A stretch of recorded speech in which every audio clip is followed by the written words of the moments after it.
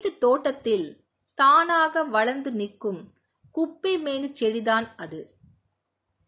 குப்பை மேனி செடிக்கு அந்த காலத்தில் யானை தனை வணங்கி என்று அழைத்தனர். இந்த செடியின் வேரை எப்படி பறித்து அதை எதிரே முடக்க பயன்படுத்தலாம் என்பதை பார்க்க போகிறோம். ரிஷிகளும் முனிவர்களும் இந்த செடியை சாயங்காலத்தில்தான் வேரெடுப்பார்கள். அப்பொழுதுதான் தம்முடைய நிழல் அந்த செடியின் மீது விழாது வேரெடுப்பவரின் நிழல் படாத செடியே இந்த தாந்திரிக பரிகாரம் செய்ய ஏற்றது.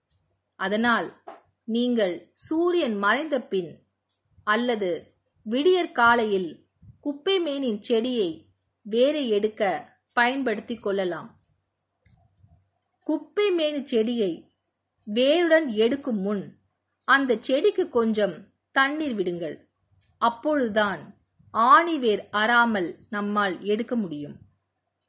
குப்பை மேனி செடியை மண்ணிலிருந்து எடுப்பதற்கு முன் அந்த செடியிடம் உங்கள் எதிரிகளால் ஏற்படுகின்ற துன்பத்தை கூறுங்கள்.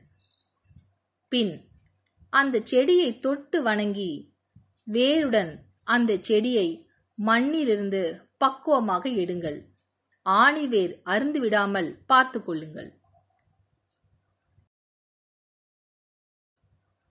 இந்த வேரினை ஆண்கள் என்றால் சட்டை பையில் எப்பொழுதும் இருக்கும்படி வைத்துக் கொள்ளுங்கள். பெண்கள் என்றால் கைப்பை அல்லது கர்ச்சிஃபில் முடிந்து வைத்துக் கொள்ளுங்கள். எப்பொழுதும் வெளியே செல்லும் பொழுது எடுத்து செல்லுங்கள்.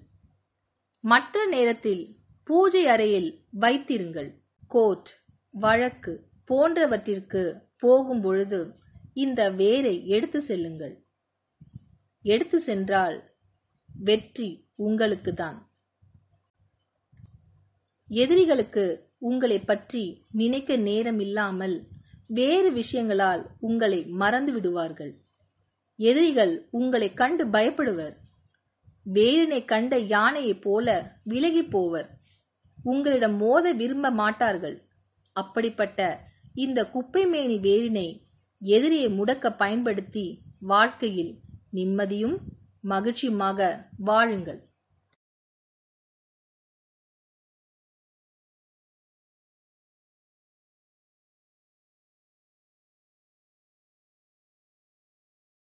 இந்த பதிவினை கண்ட அனைத்து நேயர்களுக்கும் எங்களது வணக்கங்கள்.